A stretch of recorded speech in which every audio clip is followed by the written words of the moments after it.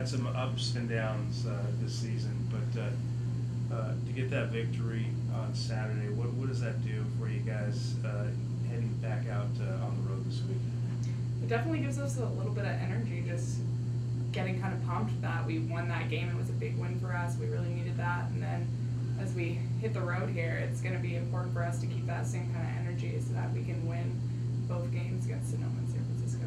You know, facing teams for now the second time this season, do you, um, is it kind of a, a different approach, especially the, te- well, the teams that you, I mean, you have wins against uh, San Francisco and Sonoma, but you, you know about them, they know about you, but Mhm. is it kind of a, a different approach or kind of, I mean, what worked the first time will hopefully work the second time?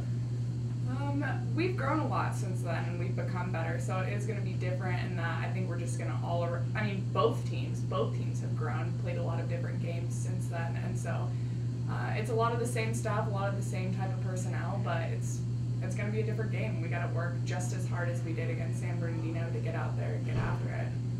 Uh, well, many times when you guys play the Thursday, Saturday this weekend, the, the Friday, uh, Saturday, um, back to back, kind of Mhm. wear and tear the, you know, Friday and having to play again on, uh, on a Saturday. Um, does that make it more difficult, or maybe it's just, I know in high school, I mean, there's tournaments you guys play through, Right. but at the college, it obviously takes a lot more out of you, but, Mhm. uh, is that difficult going back to back?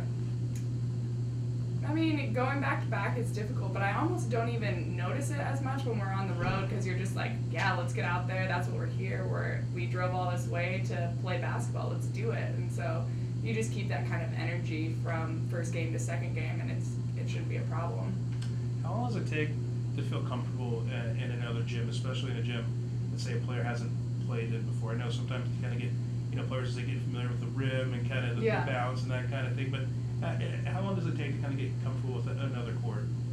Uh, it shouldn't. Hopefully, it doesn't take very long. You know, you got to play in it. So you go up, you get some shots in, maybe the night before, and uh, hopefully the night before, and then some shots in that next morning, and it should be enough. A basketball court is a basketball court, and bounciness of the rim.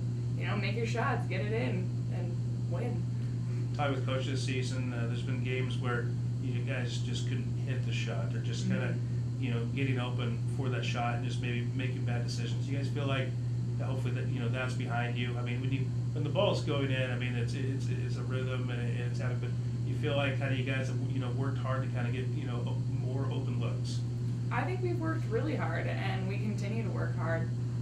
And I think it worked well for us in the last game to get open and we were making shots and that was great. We got five people in double digits and it was it was an awesome game for us and so I think that we're all I mean that's always going to be something you have to overcome is getting the ball in the hoop and so we've done a better job at that and hopefully we can continue to do that so we can win.